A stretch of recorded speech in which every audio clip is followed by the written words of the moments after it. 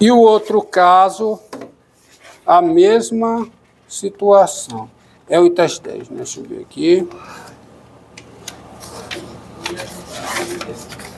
Ó.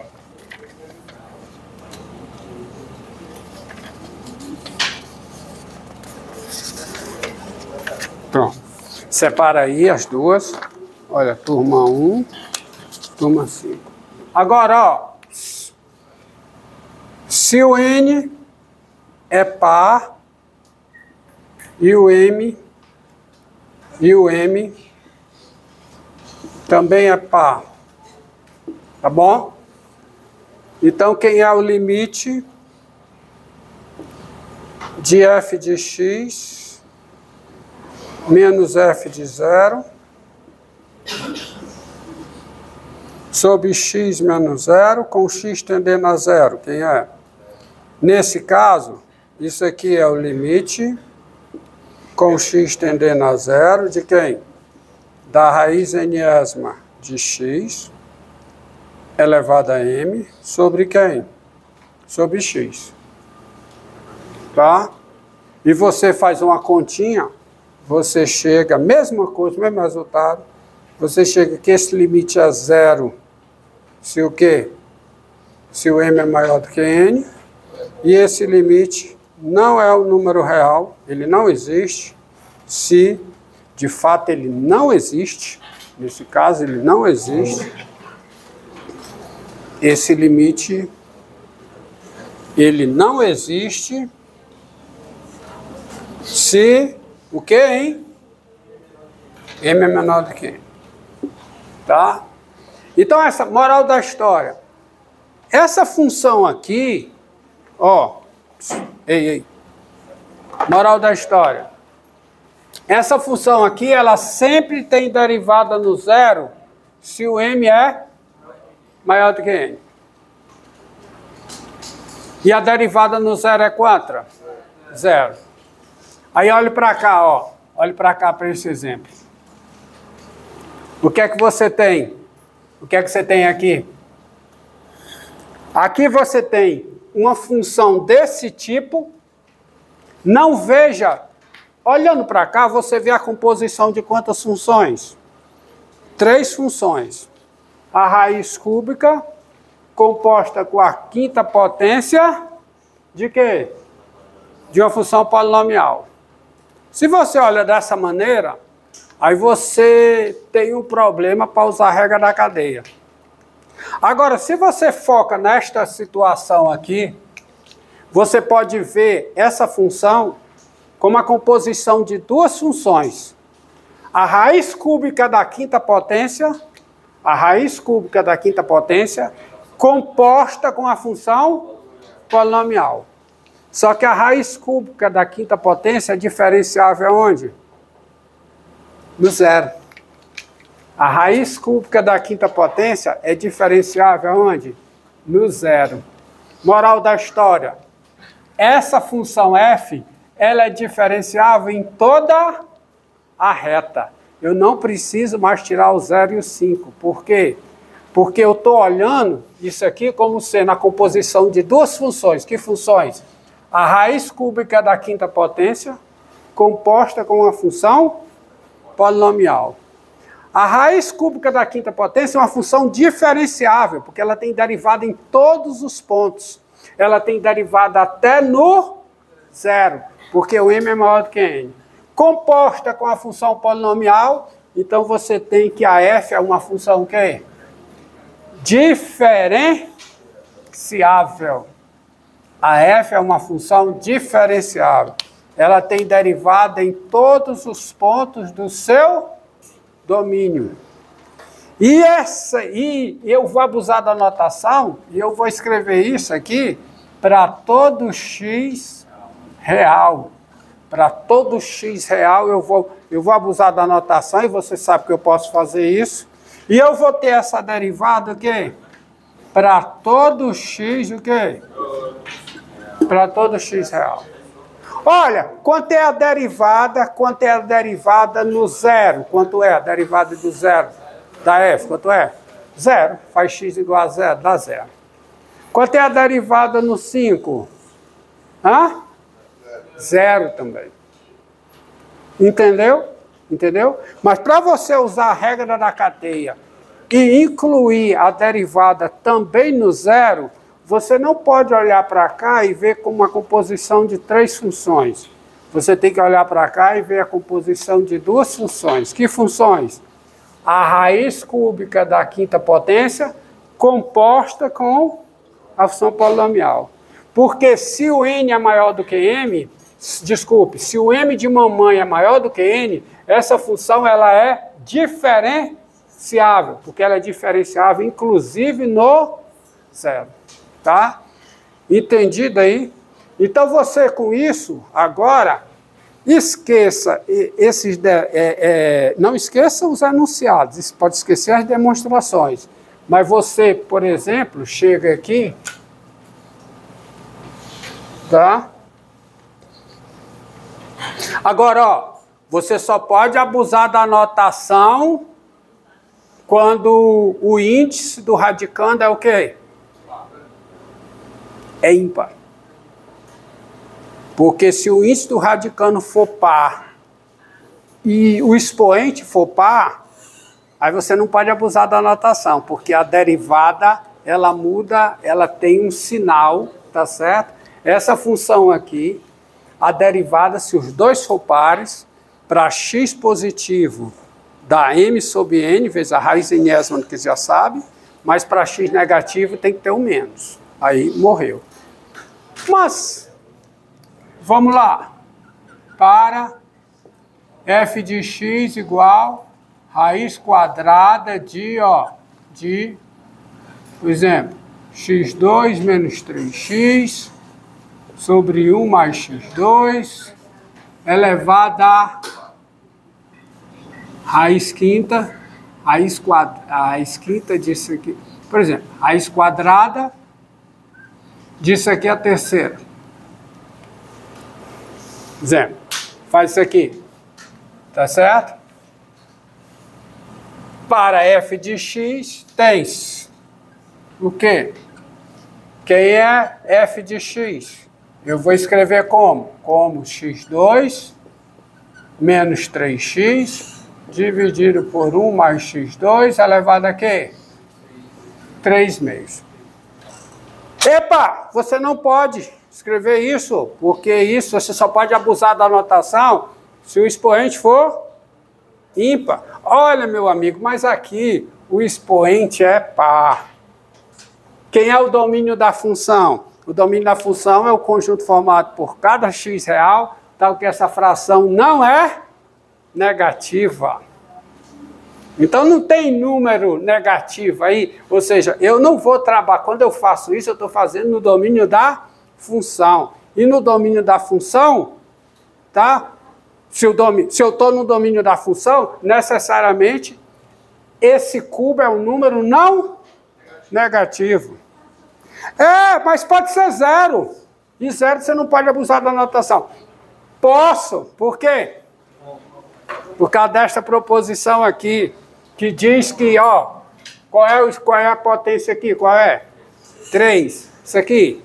2. Onde é que essa base aqui é zero? Onde é? No zero e no 3. Mas aí você olha para cá como a composição de que funções? da raiz quadrada do cubo composta com a fração. Então, funciona também. Pode escrever dessa forma, tem-se isso e é a derivada? A derivada. Até no zero, tá? A derivada vai ser quanto? 3 meios vezes o quê? x2 menos 3x sobre 1 mais x2 elevado a quê? 3 meios menos 1 dá quanto? Dá quanto? 1 meio. Vezes quem? Vezes a derivada do coisa, que dá quanto? 2x menos 3, vezes o quê? Mais x2, mais ou menos? Menos o quê? x2 menos 3x, vezes o quê? 2x. Sobre quem?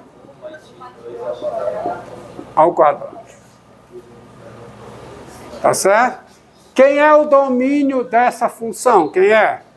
Os reais. Então você está escrevendo isso aqui, qualquer que seja o x real.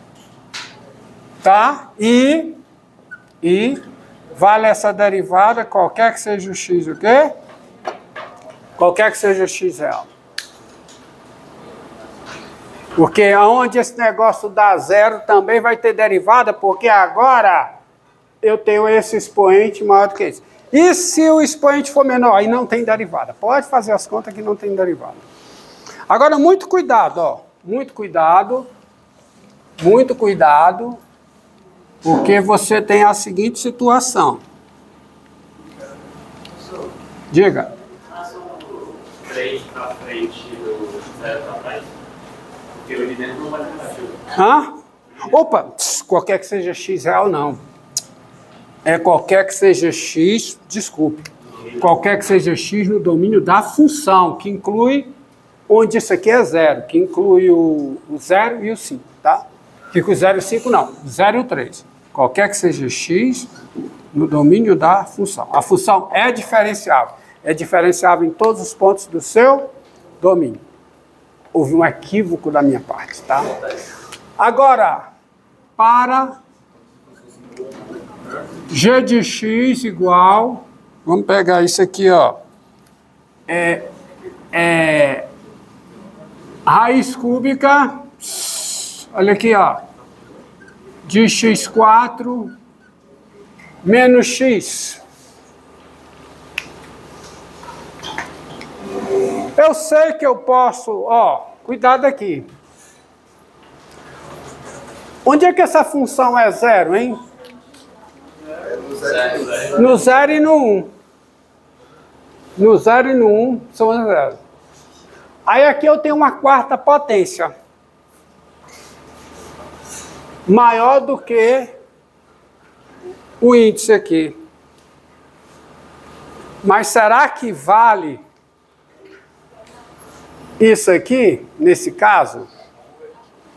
Será que vale? Vamos ver. Você sabe o seguinte, se o x for diferente de zero e o x for diferente de 1, tem derivada, concorda? Tem derivada porque, ó, o que eu estou dizendo é o seguinte, que eu estou pegando é isso aqui. x a quarta menos x, quem é? É x a terceira vezes x menos 1, correto? Então, onde é que isso aqui é zero? Quando x é zero ou quando x é 1?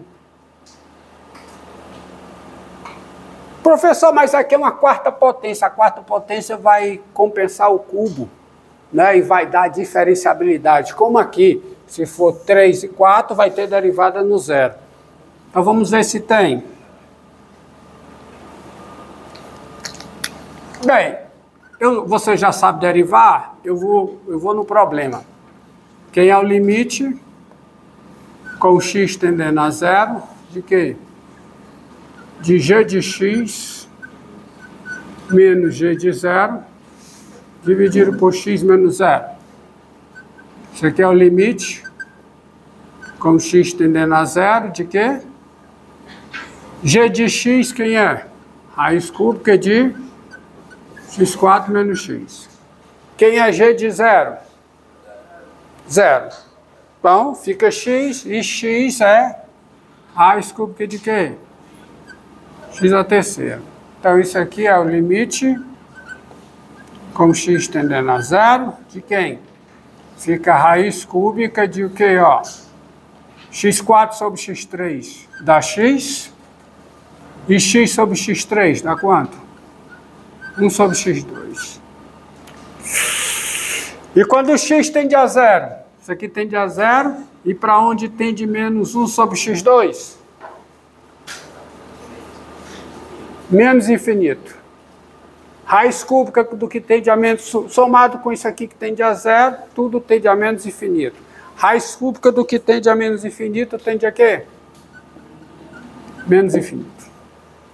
Logo, qual é a conclusão? Logo, não é diferenciável no zero. Logo, f não é diferenciável G, né? G Logo, a função g não é diferenciável no zero. Então, não pense que porque o grau daqui é maior do que aqui, vai ser diferenciável aonde o polinômio é nulo. Não, não vai ser. Tá? Então, cuidado. Aqui é diferente, ó. É a composição da raiz quadrada do cubo. Com quem? Com o polinômio. É a raiz quadrada do cubo composta com polinômio. Aí vai dar diferenciável aonde a base for zero. Diga. Me pede, professor, por que você colocou a raiz de zero? Porque eu quero fazer o cancelamento, cara. Colocar tudo na mesma raiz. A raiz cúbica do cubo de x é x. Aí eu posso, você entendeu? Entendeu? Para eu poder usar. Qual é a, a razão da raiz, das raízes cúbicas? É a raiz cúbica da razão. Só que quando você pega x4 menos x sobre x3, dá x menos 1 sobre x2.